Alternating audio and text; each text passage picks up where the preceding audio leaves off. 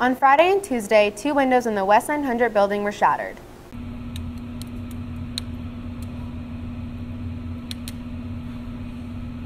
The window was broken during second lunch on Tuesday, and the door was broken last Friday after custodians ordered skateboarders to leave campus.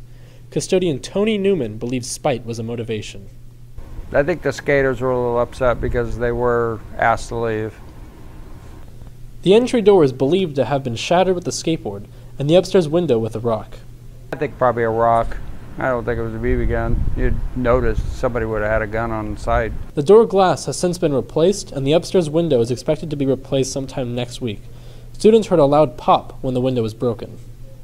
That's a safety glass. When safety glass hits, it's it's made to pop. It's made to break into non-sharp edges, rounded edges.